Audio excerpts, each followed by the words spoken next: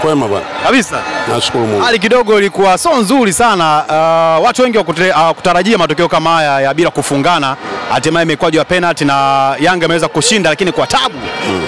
Sawa, kitendo cha kumtoa mwalimu wetu kwa kadi nyekundu kimetutoa tension kwenye mche- kwenye mchezo.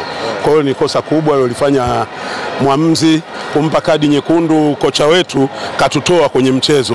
Tension ikawa kubwa kwa wachezaji wetu, wakachanganyikiwa. Umenelewa?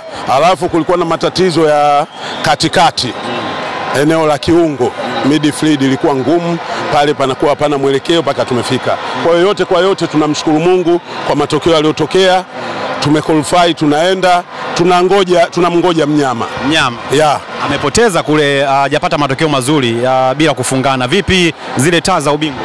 Ah, sisi taa za ubingwa kwa sababu tunaenda kama wizi wa dirishani. Kila mchezo kwetu ni vita e, tumepata alama tatu juu majuzi Chamazi, leo tumepata alama tatu. Kwa hiyo tunajiandaa na mechi ya tarehe 30 ya mnyama. Nabi ataikosa hiyo mechi, atakuwa amekaa jukwani, Kaze ndo atakuwa pale kwenye benchi. Kuna kitu ambacho Yanga uh, mnaona kama mtapungukiwa nacho au mwendo ule ule?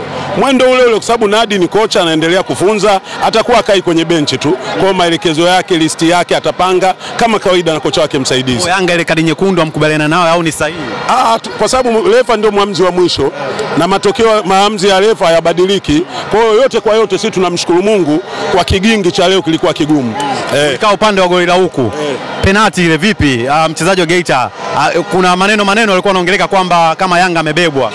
Ah, refa ndio mtu wa mwisho, katoa penati, katoa kadi nyekundu kwa kocha wetu. Kwa Alefa ndio mtu wa mwisho eh, mtu wa mwisho, hatuwezi kusema. Shukrani. Asante.